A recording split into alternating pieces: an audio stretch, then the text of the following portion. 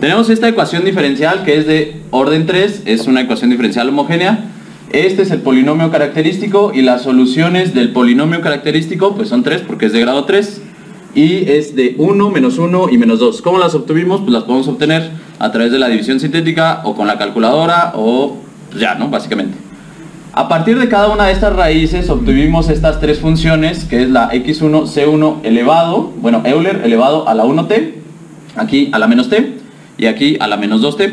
La idea es que queremos comprobar la dependencia o independencia lineal de estas tres funciones, y eso lo vamos a hacer a través del Gronskiano. El Gronskiano es un determinante de estas funciones c1 e a la t, C2e a la menos t y C3e a la menos 2t.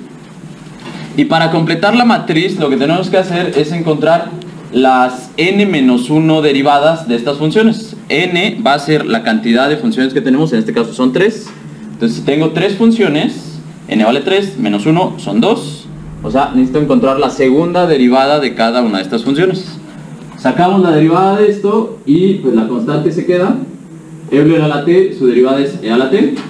Y la segunda derivada pues sería exactamente lo mismo. Y ya está.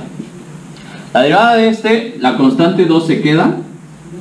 Y la derivada de e a la menos t otra vez es e a la menos t, pero por la derivada de menos t queda menos 1, o sea, un menos aquí afuera. Y la derivada de él, pues sería c2 e a la menos t por otro menos 1 y el menos que estaba afuera se vuelve más. La derivada de él quedaría la constante C3 e a la menos 2t por la derivada de menos 2t que me da menos 2. Y la derivada nuevamente de él sería C3 e a la menos 2t por el menos 2 que estaba y otro menos 2 que va a generar, entonces queda 4. Y esa es la matriz de 3 por 3 a la cual le tenemos que sacar el determinante. Este determinante lo vamos a hacer de la siguiente manera. Voy a considerar a los elementos de arriba como pivotes. Cada uno de los pivotes va a multiplicar a el menor. El menor es, consideramos que elimina su columna, su renglón y el determinante de lo que queda. O sea, este elemento, este, este y este. Entonces será multiplicación de este por este, menos este por este. Vamos a hacerlo. Sería menos 4, C2, C3.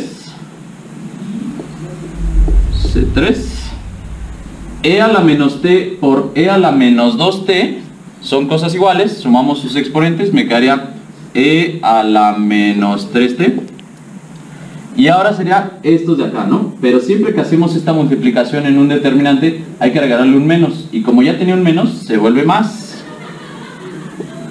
2 C2, C3 y de nuevo e a la menos 2t por e a la menos t se suman sus exponentes e a la menos 3t y ya está el primer pivote segundo pivote siempre lleva un signo menos. Entonces vamos a poner menos c2 e a la menos t que multiplica cancelo esta columna cancelo este renglón y me queda este este, este y este.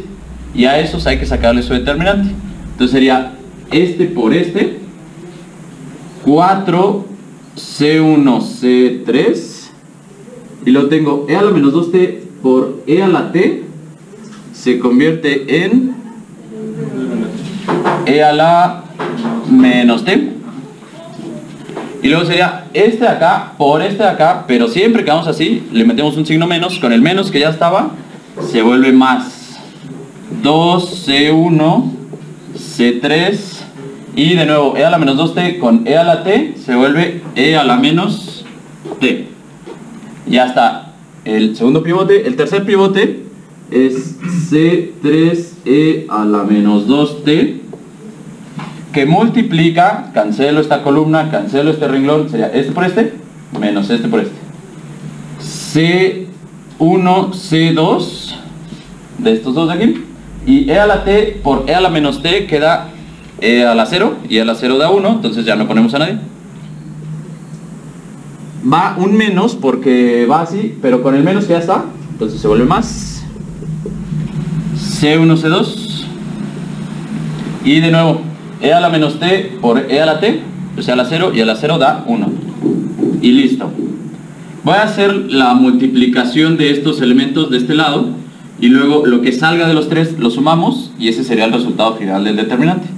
Si vemos aquí, tengo C2C3 e a la menos 3t, C2C3 e a la menos 3t, son términos semejantes. Se pueden sumar, o sea, sería menos 4 más 2, nos queda un menos 2.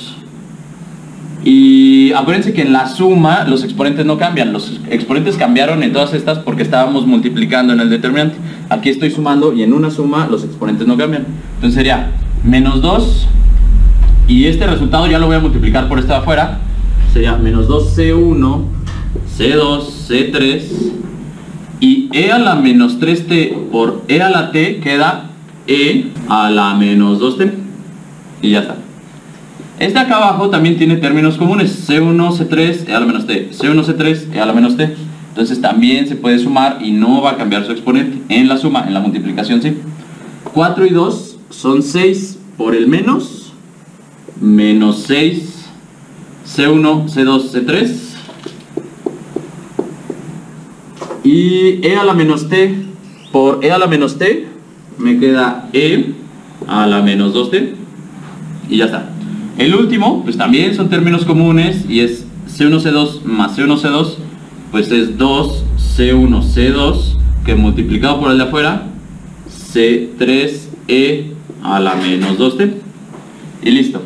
Estos tres resultados se suman y ese sería el resultado final del determinante.